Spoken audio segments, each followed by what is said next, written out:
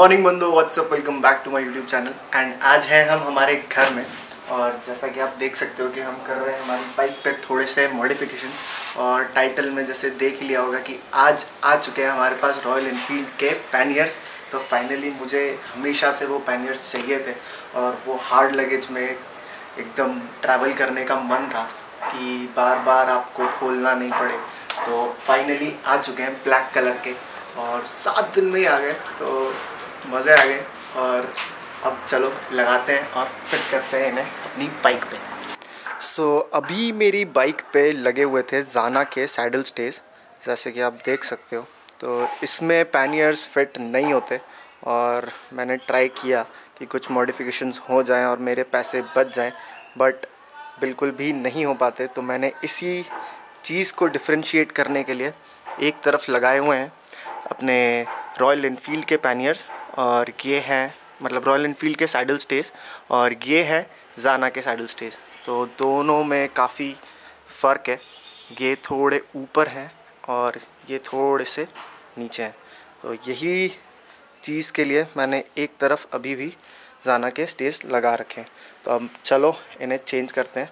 सो ये आ चुका है हमारा पार्सल और क्या लग रहे हैं यार पैनियर्स रुको मैं खोल के दिखाता हूँ। और ये हैं इनके स्टेज जिससे वो लगेंगे अपनी बाइक पे। तो चलो फिट करते हैं इन्हें और दिखाते हैं आपको। सो so, ये रहे हमारे रॉयल इनफील्ड के पैनियर्स और क्या लग रहे हैं ये पैनियर्स सीरियसली ब्लैक कलर्स में तो बहुत ही तगड़े लग रहे हैं।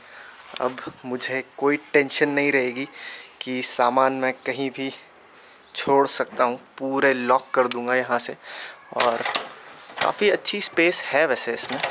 सो so, इजीली ओपन हो जाते हैं। यहाँ पे कुछ रेडियम स्ट्रैप्स दे रखे और डिसेंट स्पेस है। काफ़ी 28 लीटर्स है आई थिंक 122 के तक बाइक को मैं ले जा सकता हूँ। मतलब 120 अराउंड अराउंड और 5 के का इसमें लगेज हम रख सकते हैं। तो सही है। प्रिटी गुड और ये ऐसे पैक हो जाएँगे। तो चलो इंस्टॉल करते हैं। इन्हें अपनी बाइक पे। तो सबसे पहले निकालने पड़ेंगे इस तरफ़ वाले जाना के, ये सैडल स्टेज बट कुछ भी बोलो, जाना के जो सैडल स्टेज है, वो काफ़ी ज़्यादा ड्यूरेबल है, काफ़ी हैवी है रॉयल इनफील्ड से बट क्या करें, निकालने पड़ेंगे इन्हें। बट हमारी जब भी कोई ऐसी राइड होगी जहाँ पे हार्ड पैनियर्स नहीं लगेंगे, वहाँ पे हम ये जाएँगे।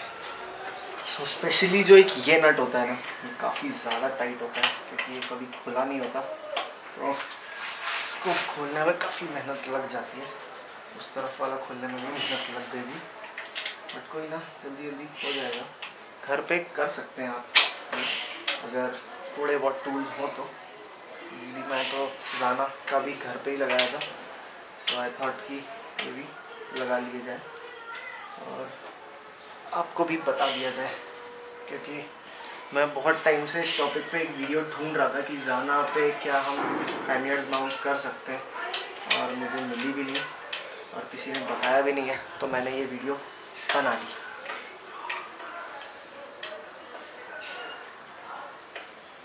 सो so बेसिकली ये तीन टाइप के स्क्रूज मिलते हैं। इस सैडल स्टे की किट में। और ये जो सबसे छोटा स्क्रू है ऐसा वो जाएगा यहाँ पे इस जगह। देन जो सबसे बड़ा स्क्रू है वो जाएगा यहाँ पे जो हमने ये नट खोला है बड़ी मुश्किल से। और जो एक मीडियम साइज़ का स्क्रू है बोल सकते हैं वो जाएगा इस बोल्ट में। सो so, चलो फिट करते हैं। यहाँ पे भी स्टे लगाते हैं और आपको दिखाते हैं कि कैसे लग रहे हैं बाइक पे हमारे पैनियर्स अभी जितने भी बोल्ट हैं, उनको आप सिर्फ़ नॉर्मली ऐसे ही लगा दीजिए। फाइनल जो टच फाइनल जो टाइट करेंगे, वो एकदम लास्ट में करेंगे, ताकि कुछ भी मॉडिफिकेशन हो तो हम उसमें कर सकें। सबसे बड़ा स्क्रू जाएगा यहाँ पे थोड़ा सा नीचे प्रेस करना होगा आपको। फिट हो जाएगा। इसके साथ आएगा एक ऐसा पार्ट जो लगेगा बैक साइड में, यहाँ पे। और इस पर माउंट होंगे हमारे इंडिकेटर्स क्योंकि पैनियर्स माउंट करने के बाद इंडिकेटर्स काफ़ी छुप जाते हैं। तो चलो, इसे भी लगा देते हैं। सिंपल चार स्क्रूज टाइट करके एंड हो जाएँगे। तो फाइनल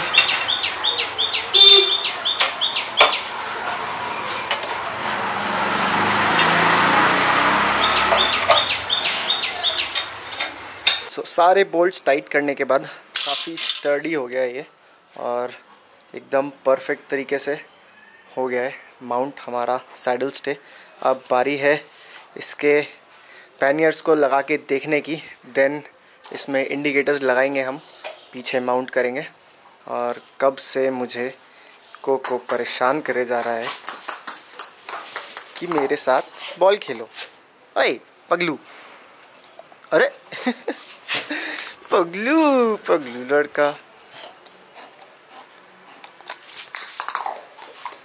बस वो तो तैयार है कि उसके साथ बॉल खेले। ये देखो।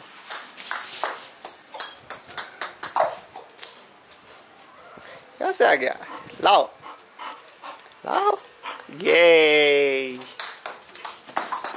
रोज के शाम का यही टाइम पास है। एक घंटा इसके साथ ऐसे ही खेलना पड़ता है।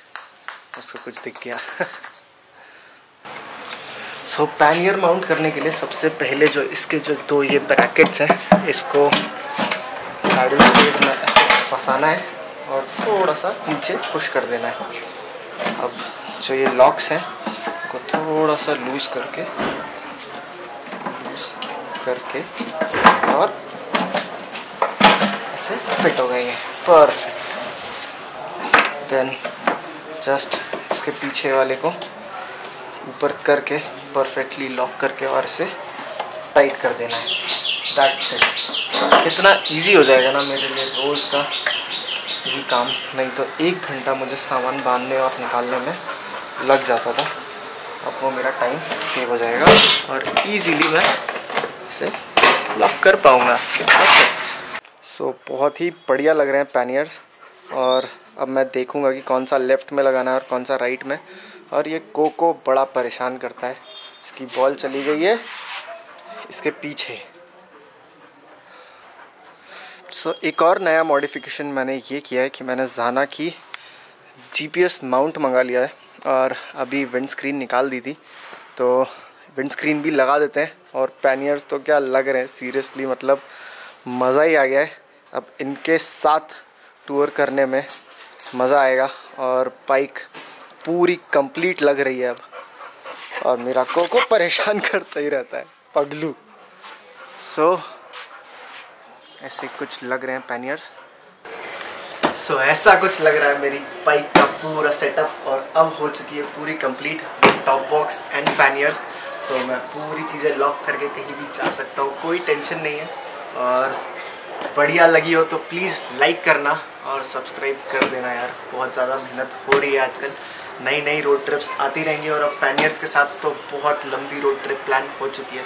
तो स्टे ट्यून्ड और राइट सेफ़ बाय बाय चलो कोको बाय बाय बोलो सबको। गुड बाय सब बंदों को बाय बोल, कोको ए नहीं बोल रहा? चलो बाय बाय